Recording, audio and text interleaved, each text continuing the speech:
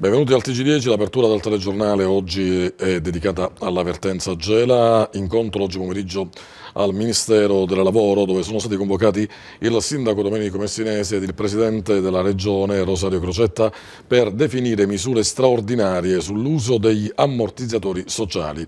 Oggi al tavolo si eh, chiederanno interventi concreti ed immediati. A Roma eh, è presente anche una delegazione del Consiglio Comunale. Ci sono anche alcuni lavoratori dell'indotto. Vediamo. Avrà inizio alle 15 la riunione al Ministero del Lavoro dove sono stati convocati il sindaco di Gela Domenico Messinese ed il governatore della Sicilia Rosario Crocetta per definire misure straordinarie sull'uso degli ammortizzatori sociali. L'avvertenza Eni dunque approda sui tavoli romani dopo la maestosa manifestazione di ieri che ha visto sfilare in corteo migliaia di persone. Oggi al tavolo si chiederanno interventi concreti ed immediati. A Roma sarà presente anche una delegazione del Consiglio Comunale ed alcuni lavoratori. La richiesta diciamo, che è stata concordata a tavolo regionale regionale diciamo, di, di ieri e l'altro ieri è una richiesta chiara di attivazione delle eh, politiche passive e attive di tutela del credito fino alla eh, riconversione avvenuta del, diciamo, del polo industriale. Eh, questo significa ecco, in un certo senso far prendere la responsabilità al governo sui processi autorizzativi inerenti ecco, alla riconversione industriale in atto per Eni, ma più in generale ecco, sui processi di riconversione legati al progetto eh, di riqualificazione industriale eh, previsto per l'accordo di programma dell'area di crisi complessa. Il ministro del lavoro Poletti deve farsi carico delle esigenze di un intero territorio immediatamente. Ci attendiamo ecco, che il Ministero del Lavoro con i suoi rappresentanti prenda in carico le proprie responsabilità e si faccia parte attiva appunto nel, nell'eseguire eh, quelle azioni necessarie in un'area di crisi, quindi di tutela al reddito per tutti i lavoratori, sia chi già gode di ammortizzatori sociali, chi è fuoriuscito al mercato del lavoro, chi ha perso l'azienda, quindi senza nessuna distinzione di sorta. Um, questo è il risultato più importante che deve uscire dal tavolo di oggi. La sensazione diciamo, è di serenità perché devo dire che forse per la prima volta ecco, c'è un fronte unito che parte dalla Sicilia eh, costituito dall'amministrazione, dalla regione, eh, da Italia Lavoro, dal prefetto, dai sindacati che hanno concordato una linea chiara, semplice e facile da applicare se il governo decide di prendersi la responsabilità di quello che ha creato con la sua politica energetica nazionale. Si chiede il lavoro, gli ammortizzatori sociali hanno un tempo determinato. Siccome il lavoro non si crea dalla notte alla mattina, è giusto che loro possano comunque godere di un reddito minimo fino a quando questi cantieri non partono. Siccome è proprio quello che è mancato, sancito dal protocollo d'intesa eh, un anno fa era proprio la tutela dei lavoratori, intanto loro devono darci quella tutela che era stata concordata nel protocollo d'intesa e contestualizzarla alla data di inizio dei lavori. Quindi noi non vogliamo ammortizzatori sociali a scadenza, ma vogliamo ammortizzatori sociali contestualizzati alla velocità del governo di, di darci le autorizzazioni per riconvertire il polo industriale. Eni ha ribadito la volontà di rimanere a Gela ed investire per uno sviluppo industriale eco-compatibile eh, della città, attestando il pieno rispetto del cronoprogramma previsto dal protocollo del 2014. Carmelo Turco, delegato regionale di Confindustria Sicilia per i settori del petrolchimico e della raffinazione, e Rosario Amaru, presidente di Confindustria Centro Sicilia, intervengono sull'avvertenza Gela che ha portato ieri in piazza migliaia di persone. Il sistema imprenditoriale aggiungono, sta lavorando proprio per portare avanti gli impegni assunti e rinnovare così la sfida per il rilancio produttivo di Gela. In particolare Confindustria sta promuovendo l'avviso che mira a far insediare nuove aziende nelle aree disponibili eh, del sito industriale. D'intesa con Eni abbiamo avviato anche un progetto di aggregazione tra alcune delle più importanti imprese dell'indotto per rafforzarne la crescita imprenditoriale e quindi la competitività sia in Italia sia all'estero. In occasione dell'incontro eh, che si è svolto alla presidenza della regione siciliana, dicono Turco ed Amaru, è stato fatto un punto sulla situazione emergenziale che rimane pur sempre molto preoccupante, specie per quanto riguarda i lavoratori rimasti privi di tutele. Con senso di responsabilità da parte di tutti sono però state definite le prime urgenti richieste da presentare ai tavoli romani e le azioni da portare avanti in ambito regionale. Occorre gestire questa fase di transizione garantendo subito eh, misure di sostegno economico ai lavoratori ma anche accelerare l'iter autorizzatorio della bioraffineria di competenza del Ministero dell'Ambiente e quello per la conclusione dell'accordo di programma per l'area di crisi complessa di Gela al quale come Confindustria si legge in una nota siamo pronti a dare il nostro contributo propositivo. Nell'accordo di programma secondo gli industriali è indispensabile introdurre misure che guardino oltre alle politiche attive e passive del lavoro anche allo sviluppo del territorio rendendo attrattivi gli investimenti in primo luogo attraverso la leva fiscale e gli sgravi contributivi. E ieri, come dicevamo, immensa manifestazione a Gela in difesa del lavoro, erano presenti anche i forconi. Il leader Mariano Ferro chiede al governo nazionale di non inginocchiarsi all'ENI. Ieri Gela è scesa in piazza per rivendicare il diritto al lavoro, dunque contro la chiusura della raffineria Eni. Anche Forconi hanno partecipato al corteo promosso dal Consiglio Comunale in difesa di un territorio. Qual è la posizione dei Forconi al momento attuale in merito a quello che sta accadendo a Gela?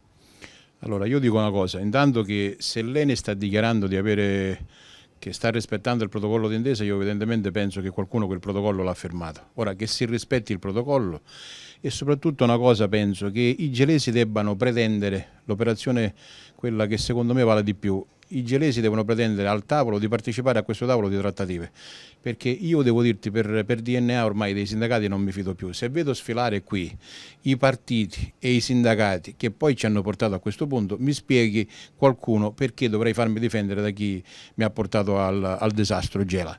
Quindi se c'è una situazione che va corretta è proprio quella. Questa manifestazione di ieri era, era la, la manifestazione di, di un'insalata di di, tutto quello che si poteva mettere insieme. C'era il PD, io ho visto il PD, ho visto i sindacati, ci sono l'attuale amministrazione che è formata dai grillini, però dico oggi, dico penso che mettere tutto insieme non porta da nessuna parte. Forse bisognerebbe difendersi con tutti quelli che sono i danneggiati di queste situazioni. Dico anche un'altra cosa, che Gela non è solo uh, l'impresa Eni, o Gela è anche agricoltura, bisognerebbe mettere insieme forse tutta l'economia di questo territorio perché sarebbe il caso di farlo.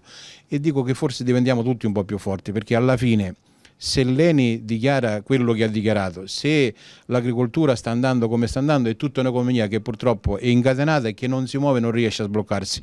Qui c'è bisogno di un governo regionale che governi, di un comune che si faccia rispettare e soprattutto c'è bisogno di un governo nazionale che non si metta in ginocchio con l'Eni. Ferro, ieri però è tutta la città che è scesa in piazza, c'era il clero, c'erano gli avvocati, le donne, gli studenti dobbiamo dire chi sono i colpevoli di questa situazione che c'è oggi, perché se non identifichiamo tutti quelli che hanno diciamo, portato a questa situazione, io credo che non ci capiamo, non risolveremo mai, cioè non usciremo da questo tunnel, perché per uscire dal tunnel bisogna dire forse è il momento che tutta questa classe operaia che è sulle strade, che sta facendo i blocchi stradali, pretenda di partecipare a quelli con una rappresentanza, con una delegazione, pretenda di partecipare ai tavoli, perché altrimenti se dobbiamo aspettare le soluzioni da chi oggi le soluzioni al tavolo le ha discusse, discusse, le ha ragionate, le ha sottoscritte, ma non le ha rispettate, io credo che ci prendiamo in giro. Penso che sia l'ennesima manifestazione che poi alla fine non serve a nulla. Qui c'è bisogno che questa popolazione, al di fuori dei partiti, tenendo fuori i partiti, tenendo fuori i sindacati, si faccia rispettare in modo diverso. Come vede il futuro di Gela? se non si arriva ad una manifestazione vera di popolo, quella che, ripeto, metta fuori i responsabili di questa situazione, possiamo anche dirci, nel 2012 ci fu quell'operazione, lo dico con grande umiltà, noi sbagliammo perché ci sedemmo al tavolo e ancora una volta ci facemmo prendere in giro da quella classe politica di allora se qui non viene fuori la Sicilia e non aspetta che qualcun altro gli, delegando i sindacati, delegando la politica, che qualcun altro gli risolva i problemi, io credo che noi non usciremo da questo disastro. E adesso occupiamoci della vicenda che ha interessato un'azienda che a Gela avrebbe voluto creare occupazione. È stata bloccata dalla burocrazia regionale. In una città, Gela, dove lavoro manca, c'è chi aveva provato a crearlo. È il caso della società Eco Agri. Si stava progettando l'installazione di due impianti fotovoltaici per serra in contrada Salleo per un totale di 8,4 MW su un'estensione di 170.000 m2. Avrebbe dato occupazione a 70 maestranze. Ed invece tutto fermo per la lentezza della burocrazia regionale. Amareggiato l'imprenditore Angelo Salinitro, amministratore delegato dell'azienda. I progetti che le ho presentato Palermo vari assessorati, che fine hanno fatto? Noi abbiamo, prodotto, abbiamo eh, eh, inoltrato agli assessorati i progetti via posta, Territorio Ambiente eh, mi ha protocollato il progetto a distanza di 25 mesi, il 27 dicembre del 2010. L'assessore all'industria invece di indire la competenza dei servizi entro 30 giorni come per legge me la indice dopo 520 giorni all'incirca. Ehm, eh, tre volte i progetti sono andati smarriti, quindi non si, non, non si, capiva e non riuscivamo a capire come mai i progetti andavano smarriti.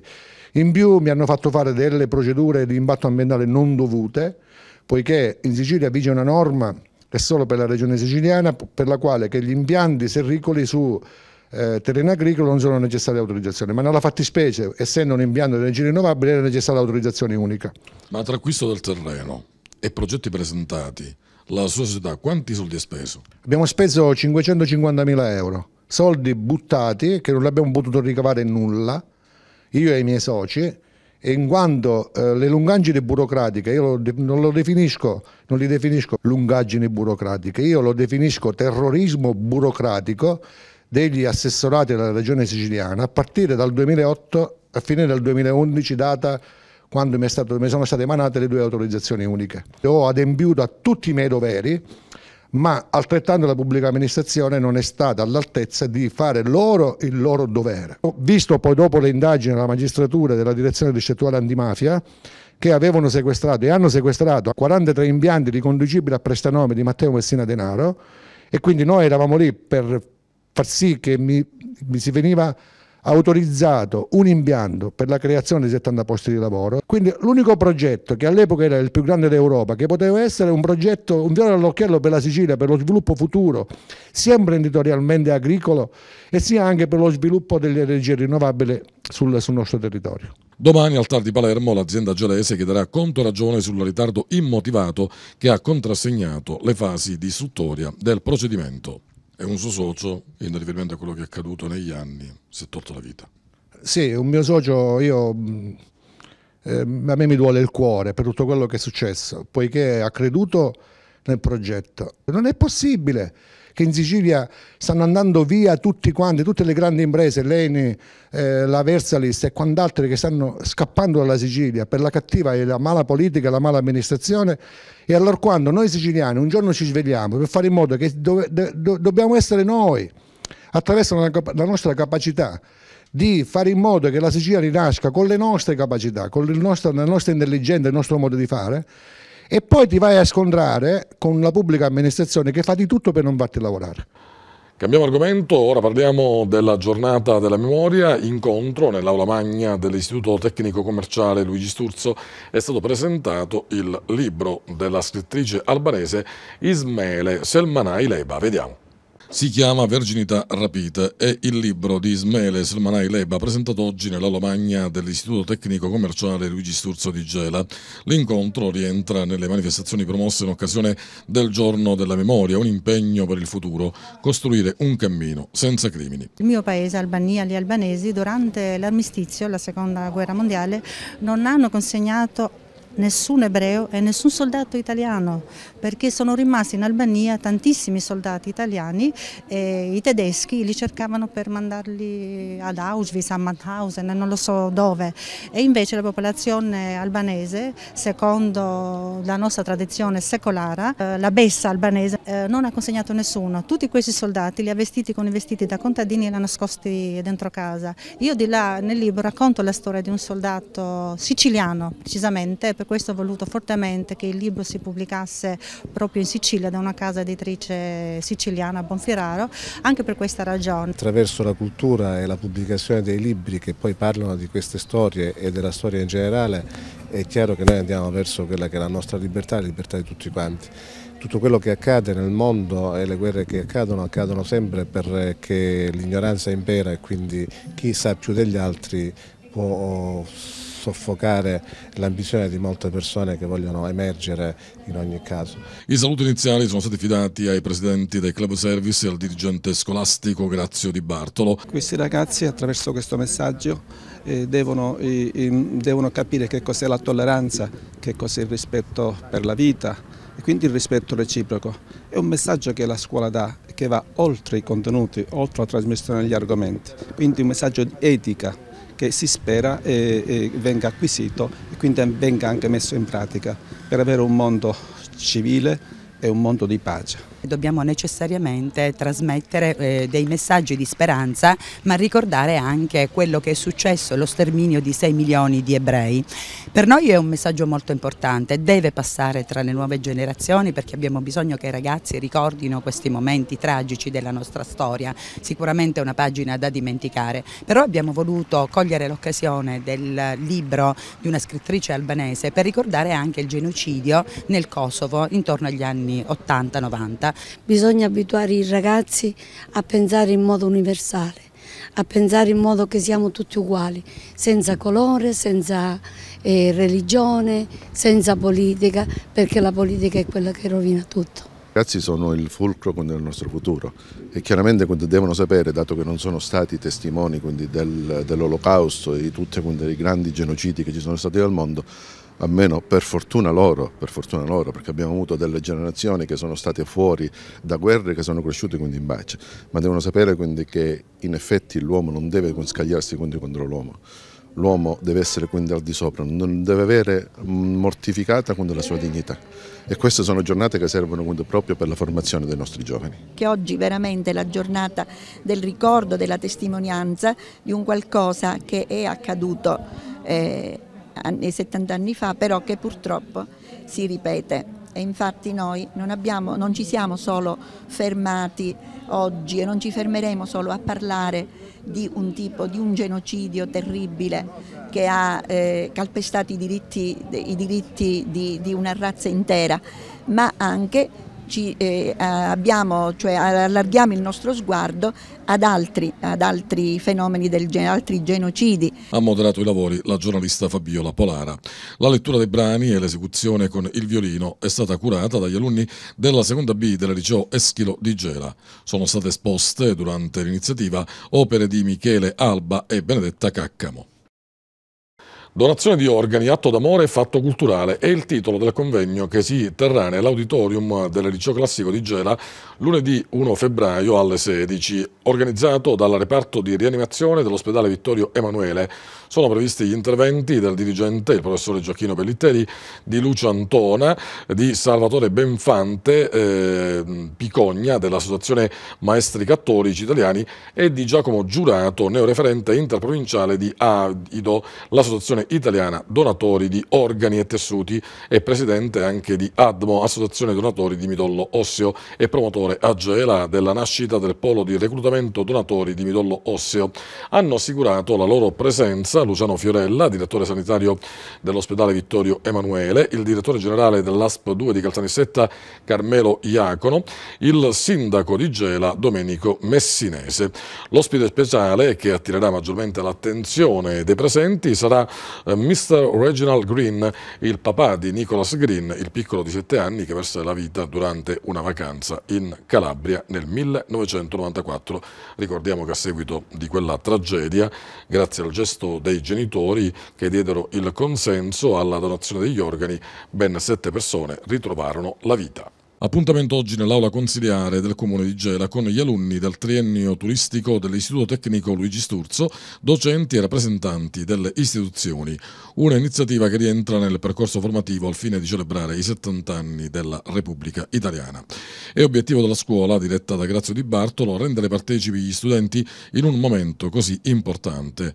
E quello che si è svolto oggi è soltanto la prima tappa, così come riferisce il docente Gianfranco Mancuso. E l'incontro con le amministrazioni locali, con le autorità locali per comprenderne il funzionamento e le sinergie con la cittadinanza. È importante che gli alunni comprendano quello che è il principio di sussidiarietà e il principio che vede protagonisti proprio la società civile per formare adeguatamente in modo positivo i cittadini di Gela. L'iniziativa prevede l'incontro con la parte burocratica, quindi i dirigenti del Comune di Gela, e la parte politica, quindi l'amministrazione, impersonata dal sindaco e da componenti della Giunta. L'iniziativa stessa avrà un, secondo, un terzo momento che è l'incontro con la parte più rilevante della società civile o più significativa che è l'associazione anti-racket nel mese di febbraio e poi un incontro conclusivo che li vedrà incontrare il prefetto di Caltanissetta a cui abbiamo chiesto già di organizzare questo momento importante. Mm, l'idea è quello di andare segnare il giorno di avere questo incontro nel giorno del 17 marzo in cui si celebra l'Unità d'Italia, quindi proprio riscoprire i valori fondanti dell'Unità d'Italia e quindi della nostra Repubblica. La Croce Azzurra Ollus di Gela ricerca personale OSA, infermieri ed addetti di segreteria e personale da dedicare al servizio di ausiliato. Per informazioni c'è un numero telefonico 334 742 417, lo ripetiamo 334 74 23 417. Ci fermiamo, linea alla regia per la pubblicità. Seconda parte del telegiornale, il Solo Optimist Club di Gela bandisce un concorso fotografico dal titolo Le Dune Gelesi, rivolto agli alunni delle scuole superiori con l'intento di valorizzare le bellezze del territorio. Le foto, inedite, dovranno pervenire entro il 15 marzo, saranno premiati i primi tre classificati. Il bando di concorso è consultabile presso tutte le scuole superiori di Gela. Open Day oggi nei plessi Santa Maria di Gesù e Benedettini a Gela per offrire alle famiglie dei bambini che il prossimo anno frequenteranno la prima classe l'opportunità di incontrare gli insegnanti, di conoscere le metodologie e la didattica applicate. Durante la giornata di oggi è stato possibile visitare gli ambienti ed i laboratori presenti all'interno dell'istituto scolastico. Il dirigente Angela Tuccio. L'Open Day serve a eh, presentare la scuola oltre che al territorio così come normalmente si fa, a rendere gli stessi alunni consapevoli dell'importanza dell'apertura della scuola al territorio e renderli partecipi attivamente delle attività scolastiche. In questo modo loro diventano i protagonisti e tantissimi progetti portati avanti nella nostra scuola e progetti che vanno dai laboratori musicali, laboratori multimediali, laboratori di ceramica. Quest'anno tra l'altro grazie al, agli insegnanti eh, dell'organico di potenziamento abbiamo potuto attivare una serie eh, numerosa di progetti volti sia al recupero che all'eccellenza dei nostri studenti, per cui saranno veramente seguiti. Si, si, starà, si realizzerà all'interno del terzo circolo veramente la didattica della one-to-one, -one, perché eh, riusciremo a, a mm, condurre quasi per mano i nostri studenti al successo. Quindi il terzo circolo come scuola di qualità, come scuola che segue gli studenti in tutto il loro processo di crescita. Ecco perché oggi siamo lieti di accogliere gli studenti, questa, i futuri studenti i genitori, eh, per far sì che facciano una scelta consapevole della scuola eh, che eh, porterà i loro figli sicuramente a traguardi importanti. Ed ora la nostra consueta rubrica quotidiana in breve.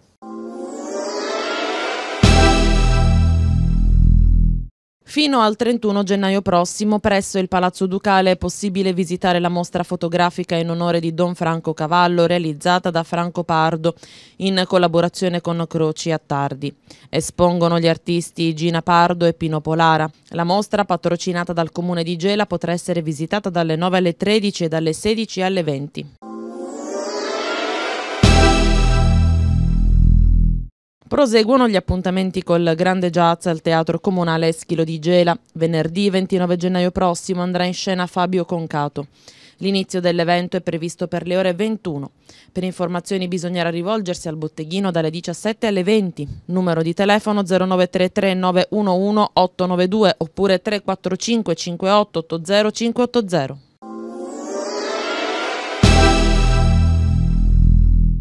Continuano gli appuntamenti musicali inseriti nel cartellone della 82esima stagione concertistica gelese promossa dall'Associazione Amici della Musica Giuseppe Navarra. Domenica alle 19 nei locali del Palazzo Principessa Pignatelli è previsto il recital del pianista Davide Sciacca.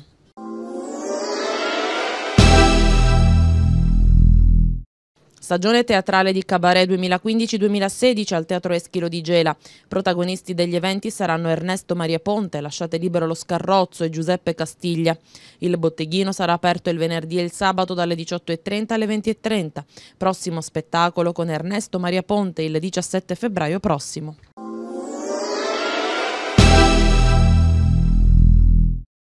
C'è la pagina dello spettacolo, del cinema in particolar modo, è Il Ponte delle Spie, il film in programmazione al Cine Teatro Antitoto di Machitella a Gela. Sono due gli orari, ve li ricordiamo, 18 e 21 e 30. Abbiamo concluso anche per oggi, grazie per averci seguito, appuntamento alle prossime edizioni.